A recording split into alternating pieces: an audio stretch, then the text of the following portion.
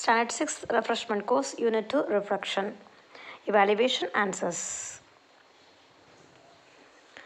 Put a tick mark for the natural source of light and if it is not put int mark இங்கே சில pictures கொடுத்துருக்காங்க இதில் natural source of லைட்டாக இருந்தால் tick mark போடணும் natural source of லைட்டாக இல்லைன்னா இன்ட்டு மார்க் போடணும் அதாவது நேச்சுரல் சோர்ஸ் ஆஃப் லைட் அப்படின்னா ஒளியை தானாகவே வெளியிடணும். அதுதான் நேச்சுரல் சோர்ஸ் ஆஃப் லைட் இங்கே இருக்கக்கூடிய கண்ணாடி வந்து ஒளியை வந்து தானாகவே வெளியிடாது. ஸோ இதுக்கு இன்ட்டு மார்க் போட்டுருங்க.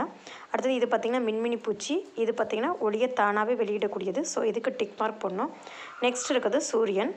சன் சன்னு பார்த்திங்கன்னா ஒளியை தானாகவே வெளியிடக்கூடியது. ஸோ இதுக்கும் நம்ம டிக் மார்க் போடணும்.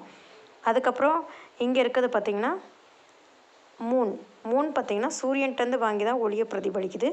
ஸோ இதுவும் நம்ம இன்ட்டு மார்க் தான் போடணும்.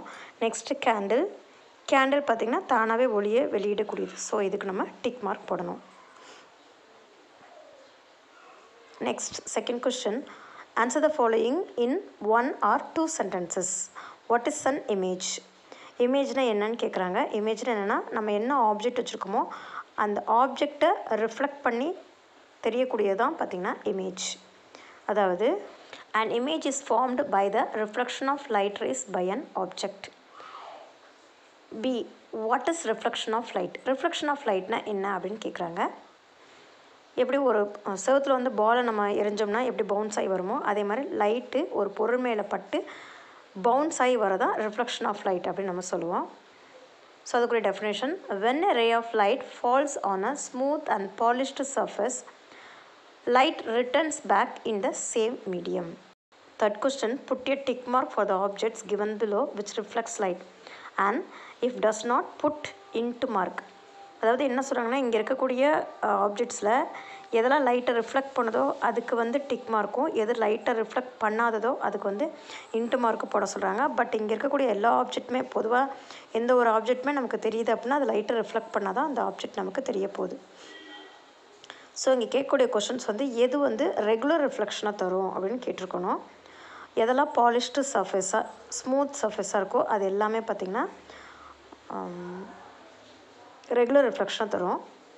மீதி இருக்கிறது எல்லாமே பார்த்திங்கன்னா இர்ரெகுலர் ரிஃப்ளெக்ஷனாக தரும். ஸோ இங்கே இருக்கக்கூடியதில் கண்ணாடியும் தட்டும் பாலிஷ்டு ஸ்மூத் சர்ஃபேஸாக இருக்குது ஸோ இது ரெண்டும் பார்த்திங்கன்னா ரெகுலர் ரிஃப்ளெக்ஷனாக தரும். இது ரெண்டுத்துக்கு நம்ம டிக் மார்க் போடணும். இந்த கேப்பு டோரு இங்கே இருக்கக்கூடிய பாட் இது மூணு பார்த்திங்கன்னா இர்ரெகுலர் ரிஃப்ளெக்ஷனாக தரக்கூடியது. ஸோ இது மூணுத்துக்கும் இன்ட்டு மார்க் போடணும். Fourth question draw the path of the light in the following ray diagram இங்கே ரே டயக்ராம் இருக்குது. இந்த ரே டயக்ராமில் நம்ம என்ன வரையணும் அப்படின்னு பார்த்தீங்கன்னா லைட் ரேயோட பாத்தை வரையணும். அவங்க வந்து இன்சிடென்ட் ரே கொடுத்துட்டாங்க.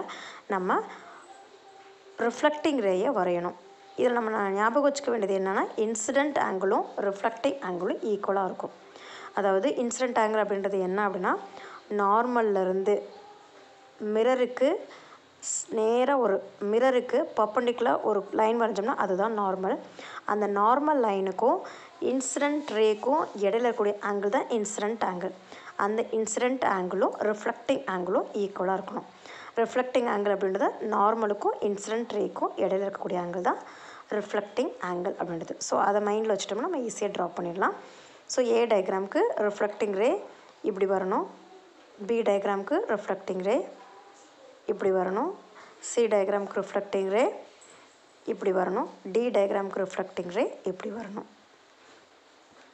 Fifth question with the help of teacher take a selfie as shown in the picture below ஒரு செல்ஃபி எடுக்க சொல்லியிருக்காங்க. அதே சமயத்தில் நம்ம உருவம் அந்த கேமராவில் தெரிகிற மாதிரி இருக்கணும். அந்த பிக்சரில் தெரிகிற மாதிரி இருக்கணும். அந்த மாதிரி ஒரு செல்ஃபியை எடுத்து உங்கள் நோட்டில் பேஸ்ட் பண்ண சொல்லியிருக்காங்க